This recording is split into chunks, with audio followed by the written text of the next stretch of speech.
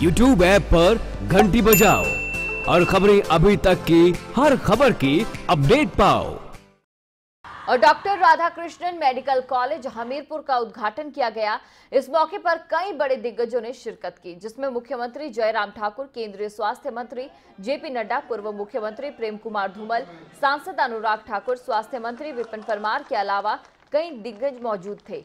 ये medical college 206 crore रुपए की लागत से बनकर तैयार हुआ है। वहीं उद्घाटन के बाद जेपी नड्डा ने कांग्रेस पर जमकर निशाना साधा।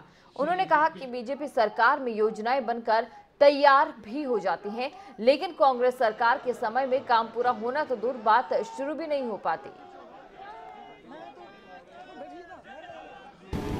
कि स्वास्थ्य के क्षेत्र में आदरणीय मोदी जी के नेतृत्व में जो सरकार केंद्र में है उसका विशेष योगदान रहा।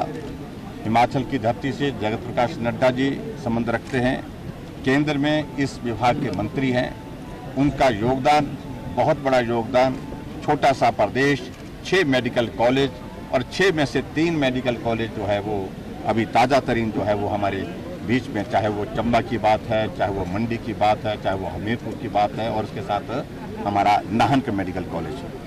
और ये चार मेडिकल कॉलेज वर्तमान सरकार की देन है। आपने देखा होगा ना, मशीन में दो बटन होते हैं, एक हरा होता है, एक लाल होता है।